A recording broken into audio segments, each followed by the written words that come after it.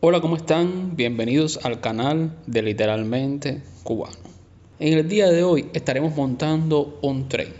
Yo en lo personal he llamado a esta serie el tren de los pobres, porque estaremos viajando en varios de los trenes utilizados con regularidad por las personas en Cuba.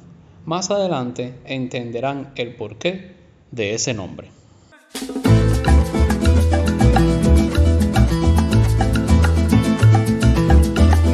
Salimos corriendo de la casa porque el tren salía a la una y media de la tarde.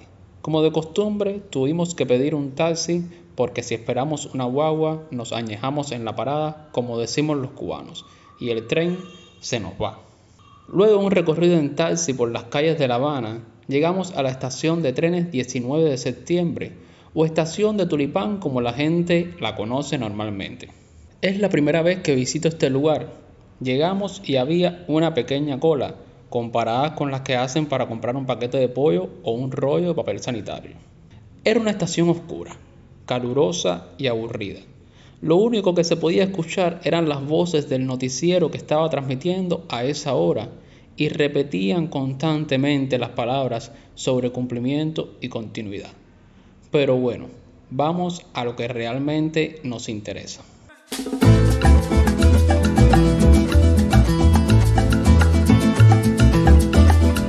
Para mi sorpresa, el tren en el que estaríamos viajando salió a su hora, algo raro en Cuba.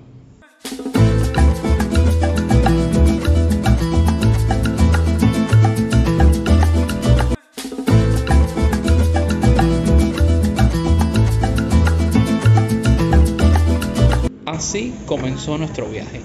Empezamos nuestro recorrido observando algunos de los pueblos habaneros que se encuentran en las cercanías de la terminal. Estos barrios tienen características muy peculiares. Son asentamientos muy humildes y las imágenes hablan por sí solas.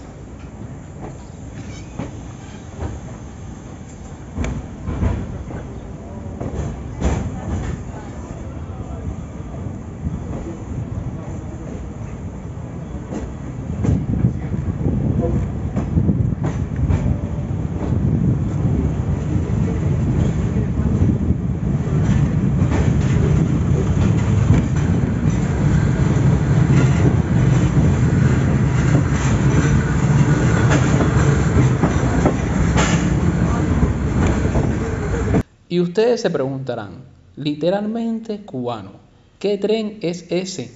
¿A dónde vas? Pues así es amigos, bienvenidos a bordo del tren Habana Mariel.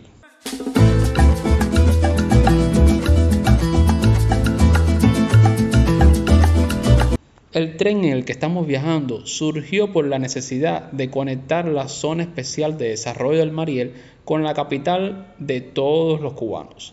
Más adelante estaremos profundizando sobre este tema. Comencemos por ver cómo es este tren por dentro. Claramente se puede observar que es un tren que cuenta con bastantes años de explotación. Este tipo de coches se utilizaban antes para brindar servicios en los trenes de pasajeros nacionales. Este tren recorre varias veces al día por la línea Habana-Mariel, la primera línea de ferrocarril inaugurada por Cuba después de 20 años sin hacerlo.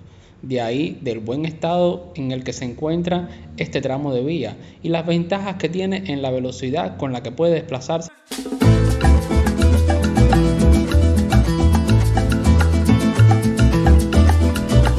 Aspecto negativo es que se puede observar que dentro del tren no existen luces ni puertas en el final e inicio de los vagones y que para hacer el tren de los trabajadores de un lugar tan importante pues deja mucho que desear. Como pueden observar el tren se encuentra prácticamente vacío debido a que en este horario va de La Habana al Mariel y luego regresa del Mariel a La Habana con los trabajadores de la zona especial.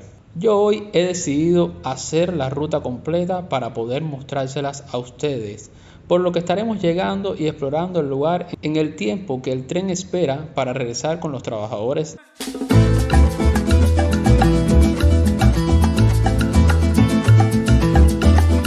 En las imágenes podrán ver varios pueblos y es que esta es la ruta que atraviesa varios municipios de la provincia de Artemisa.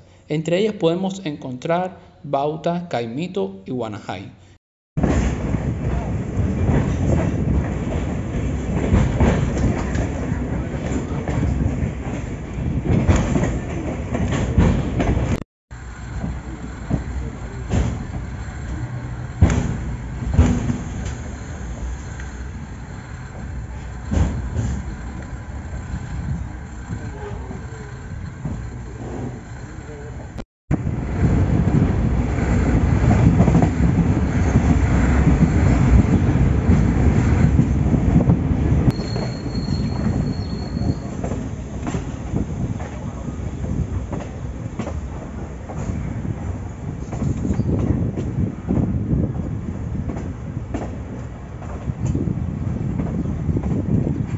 Desde la ventana del tren pude observar a lo lejos parte de lo que es hoy en día la Zona Especial de Desarrollo del Mariel, un proyecto ambicioso del gobierno de Cuba en conjunto con Brasil. El objetivo de esta zona es atraer empresas extranjeras que quieran invertir y tener sede de su empresa en nuestro país. Pero creo que los planes no han salido del todo bien, porque esta zona no marcha al ritmo que se lo habían imaginado. Y luego, con la llegada del COVID, muchos de estos proyectos quedaron detenidos en el tiempo. El proyecto, la verdad, es muy ambicioso, pero el destino del mismo aún es incierto.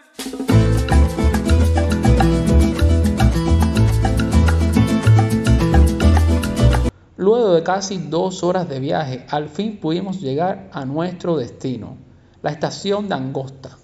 Y es que así es como se llama el pueblo en el que se encuentra ubicada la estación de ferrocarriles de la Zona Especial de Desarrollo Mariel. Se puede ver que este lugar no tiene nada que ver con la estación de la cual salimos en La Habana.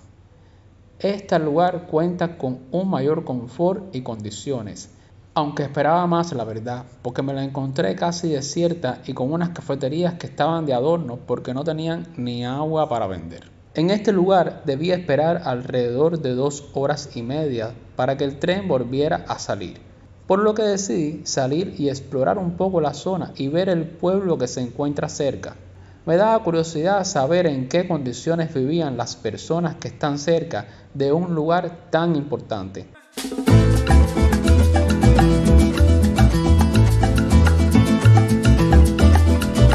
Ven ustedes mismos que tampoco era nada del otro mundo. Era un pueblo común y corriente que no tenía diferencia alguna con otro pueblo de Cuba. Estuve caminando un poco para ver si encontraba algo de comer y beber y no había nada. Y cuando digo nada, es absolutamente nada. Pasado un tiempo, debía regresar de nuevo a la estación, ya que el tren estaba al salir. El escenario era totalmente diferente ya que cuando llegué la estación estaba vacía, pero a la hora de irnos era una estación abarrotada de personas. No pude grabar las imágenes por no intimidar a los trabajadores del lugar y por los policías que se encontraban ahí, ya que en esta línea hace poco tiempo ocurrió un atentado y descarrilaron un tren de carga. Como es habitual, el tren volvió a salir puntual. Los trabajadores del lugar me comentaron que en este caso, cuando regresa el tren, la última parada es en el puente de la Cujay y ahí decidí quedarme.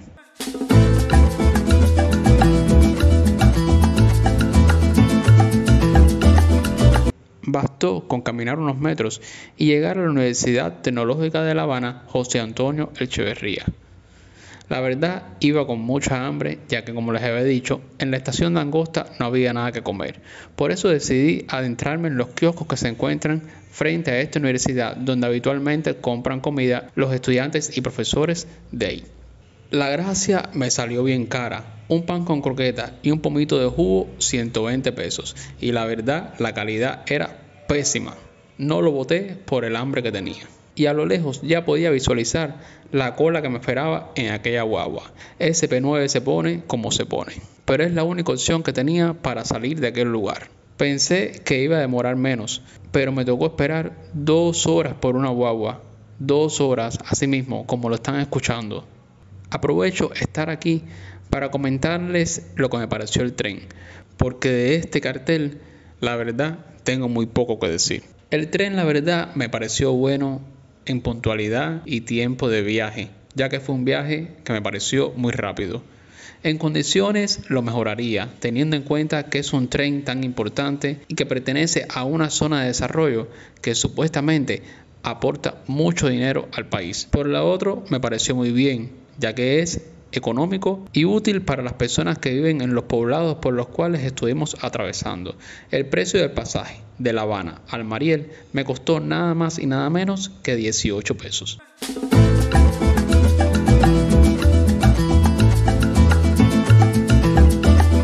Bueno, y luego de una hora montado en aquel P9 con calor y viendo las caras a las personas, llegué al lugar de donde salí, al Vedado, a la céntrica esquina de 23 y Paseo.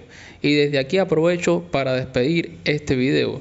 Espero que les haya gustado la travesía y así poder conocer sobre los trenes de Cuba sobre los trenes en los que montan los obreros, las personas de a pie. Espero que te suscribas, comentes y le des like a este video si te gusta este tipo de contenido. Y nos vemos en un próximo encuentro para seguirnos sintiendo literalmente cubanos. Hasta pronto.